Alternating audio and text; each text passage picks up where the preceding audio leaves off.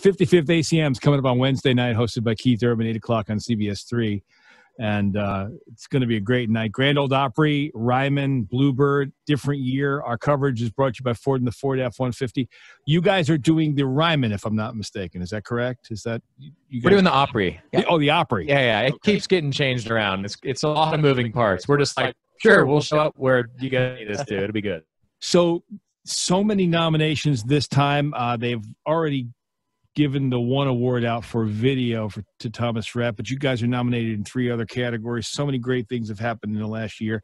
Um, I, I don't know where to put you guys now. Like, I, I, just remember the first time you guys came in. I'm like, look at these dudes, man. These dudes are all right, man. I like these guys. uh, and now, like, I'm just like, these guys are superstars. Like, holy moly! Oh man, thank you for your support, man. You've been uh, you were one of the first believers, and that means the world. And you know, you're Steelers fan, so we love that. Love to see that. So, yeah, yeah.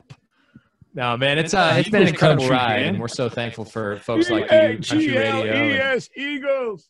Hey, I think there's more of a rivalry between the Pens and the Flyers than there is Steelers Yeah. and Eagles. You know what I mean? I feel like the Steelers and Eagles never make it far enough in the playoffs to play each other anyway. So, but uh, man, it's been an incredible journey. We're so grateful for everybody, you know, for Country Radio, for our fans, you know, continuing to support us and getting to be here. It's been a, a weird couple of months, you know, being off the road, but being busy again, having something on the calendar is uh is really good. So, and getting to see friends like you know you across the screen here or across the room, it's a little strange. Like, do we hit elbows or do we pound? What's the what's the vibe? So, I think the Gonna elbow is the, the thing now. The elbow. That's Yeah. that's it. Just like throwing bows. Is what we call yes. it, There know? you go. Throwing bows. um, you guys have become more studio people in the last year, right? Is that a talent you guys had before? Because I remember you guys are you're singers. You're trying to be, you know, make records, and then you've been. Is it your bedroom where I see videos, Dan? Where like you're Dan's been rocking. He's been doing. I feel like this was kind of the time where Dan could thrive because Dan's always done our record. You know, he produced you know all of our albums, and I, I've watched you know the evolution of him putting in all that work. He's unbelievable. I can say that he's like he's my favorite producer in town, probably the best Oh, producer in so town. sweet. But he is, uh, you know, this was kind of his time to shine because we couldn't use, you know, even you know studio musicians that we would have normally used. You know, there's so many talented guys in town, and uh, Dan was forced to have to do all of that himself. But it worked out in a really great way, and uh, ended up being exactly what the song needed. And yeah, it's been kind of cool to see you, you know, even get better. I didn't know if it was possible, but he's gotten even better as a producer. So it was kind of a, a bright light in the in the darkness that's been this past few months. so Keeps me I, entertained,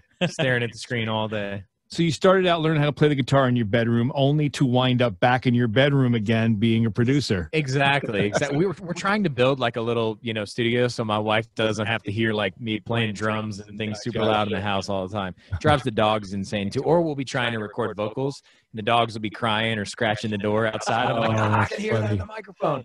So we're building like a little spot in the backyard, but it takes forever. It takes absolutely forever. So I should probably go to bed. Is that the the mix that you guys made on your own during quarantine? Is that the, It is, man. That's we uh, we were just tinkering away and playing all the instruments. We did a lot. I mean, there's so many more vocal tracks than anything. There's more vocals than instruments. So we we layered those up, and uh, and this guy tracked about 128 vocals on that thing. It's like it's it's pretty layered up. So now we're gonna.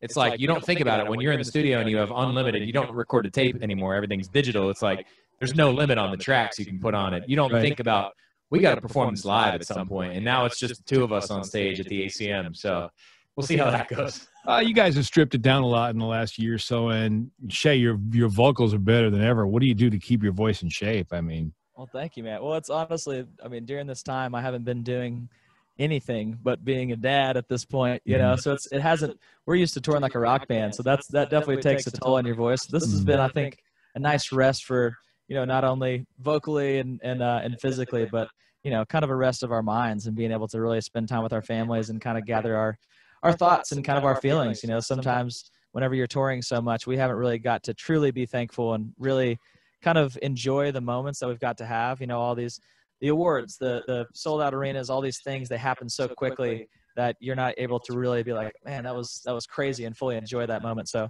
Dan and I have really got to kind of reconnect, and as soon as we, you know, after quarantine, being able to get back together, we have a new appreciation for, you know, I think music and just each other in general of, of how thankful we are to have, you know, be able to do music with your best friend is, is a lot of fun. So very thankful Well, well, you guys are the best, and I'm I'm glad I've known you for all this time. And every time I see great things happening for you, I go, I know them dudes. Oh, you're the best, man. Abby's gonna be jealous. I got to talk to you. You're her favorite. Tell her I said hello, and will. uh, you guys have fun on on Wednesday night, and good luck, and keep doing what you're doing. You guys are really talking to the listeners and talking to the fans, and keep trying to keep your finger on that pulse. Absolutely. Thank you, man. You're the best. All right. Peace. See you, See Razz. ya, brother. Dan and Later. Shay on Philly's Country Station 92.5 XTU. Man.